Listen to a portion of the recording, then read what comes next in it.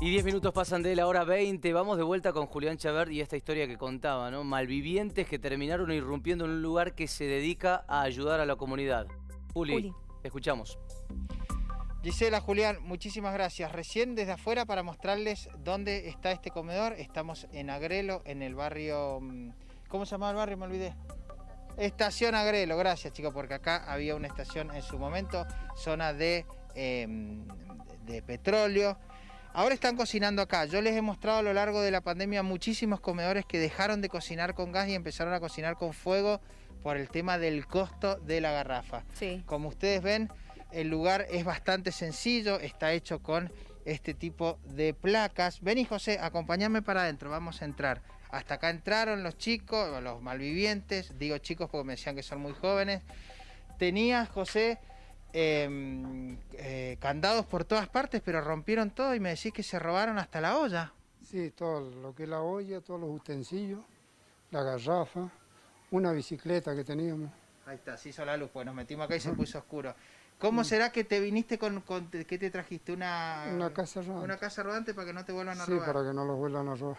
¿Qué más te robaron? Bicicleta, olla, mercadería, la garrafa. Sí, la golpearon a mi sobrina, le sacaron la plata que habíamos juntado nosotros en ventas que habíamos hecho Para la rifas. comida le robaron la plata también. Sí, y toda la mercadería que teníamos, que nos habían donado y que habíamos juntado. José, yo no lo puedo entender. ¿Vos lo podés entender que roben en un comer? Ustedes están ayudando a las familias, a los chicos.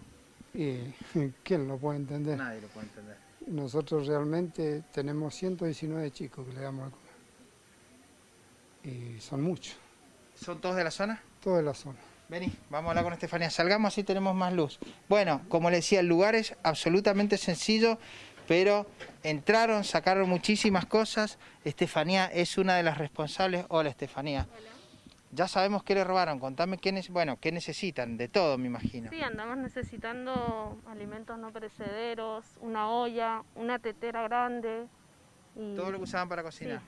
¿Cómo se le están arreglando ahora? y nosotras ponemos entre todas de nuestro bolsillo y también una carnicería de Pedriel, carnes pampeana que nos Que ayuda. los ayuda, maravilloso. Sí, Fabricio. Bueno, Y- Fabricio, gracias por esta ayuda. Sí. También podés filmar la rulo, tenemos madres del barrio que vienen, que consiguen sus alimentos, que cocinan y es una forma que tienen también de darle, de alimentar a su familia, ellas mismas, a sus hijos, porque es una de las formas de supervivencia que tienen en los barrios complicados. Mira, este es el teléfono que está en pantalla, yo le dije, tenelo en la mano y vos tenés un cuaderno para anotar porque van a empezar a llamar para ayudar.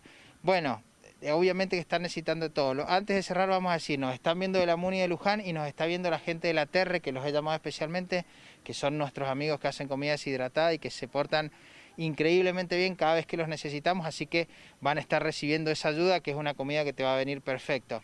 De vuelta, lo que necesitas más urgente, la olla, Sí, la olla y los utensilios para cocinar. Leche, que es lo que más ocupamos, y bueno, mercadería. Ya está empezando a llamar la gente, lo cual para nosotros siempre, siempre es eh, muy lindo. ¿Qué me decías? Una garrafa, porque garrafa. claro, nos robaron la garrafa. y- Entiendo que la- con la Muni te vamos a conseguir la garrafa. Bueno, nada chicos, teléfono, Facebook y desde acá nosotros lo vamos a seguir porque evidentemente es una, una cuestión solidaria muy importante la que están haciendo, como lo ven, absolutamente a pulmón y le robaron todo lo que tienen para, para llegar a eso, así que por lo menos que puedan volver a cocinar todos los días con los elementos, con la comida que necesitan, Sí. así que bueno, vamos a estar cerca de este, de este comedor para, para darles esta mano. Gracias y espero que la próxima nota sea con, con todos los repuestos. Bueno, muchísimas gracias a ustedes por estar acá y gracias a la gente que nos va a ayudar. Gracias chicas, buen, buen trabajo y a seguir, a seguir en esto. ¿eh? Muchísimas. Venga cocinera, ¿cuál es tu eh, la cocinera con el barbijo de River? ¿Cómo será que uno ya se ha ido, ya no es tan fanático que hasta la puede filmar? Ay, ¿Qué cocinas acá de todo? Sí, de todo. Hacemos tallarines, hemos hecho lenteja, polenta. eh, ¿Siempre al fuego estás acostumbrado? Sí, no, en mi casa no.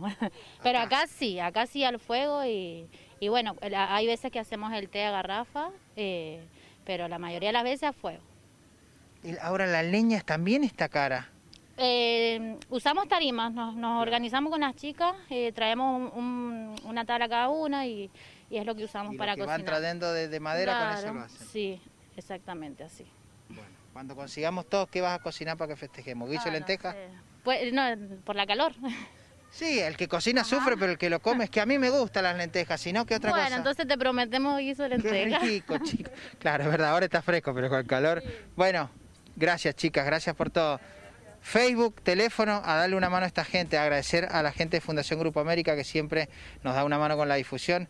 Así que bueno, vamos a seguir trabajando este tema. Bueno, 2613 61 70 94 Filmar, es el teléfono, es el Ya celular. está llamando la gente, Gracias. Gracias porque llamando. aportando realmente la ayuda, así que por ahí puede pasar, gracias. ¿no? Que, que en la casa tengamos una olla de más, que tengamos un montón, comida y todo lo que se puede hacer para solidarizarnos con ellos que hacen esta tarea tan loable para mucha gente que hoy no la está pasando bien. Así que agradecidos todos de aquí desde el canal, pudiendo ser este medio, este puente, para que ustedes ellos también puedan recuperar todo lo necesario. Bueno, ese es el teléfono y si no en el Face, caritas felices, corazones contentos. Gracias, Gracias, Juli. Julián. Buenas noches para vos. ¿eh? La, la Gracias, chicos. Hasta Gracias, luego. Juli. La posibilidad de ayudar a esta gente que lo necesita, 120 chicos que dependen de ellos para comer y que lamentablemente tienen que vivir esta situación de inseguridad. Vamos a cambiar.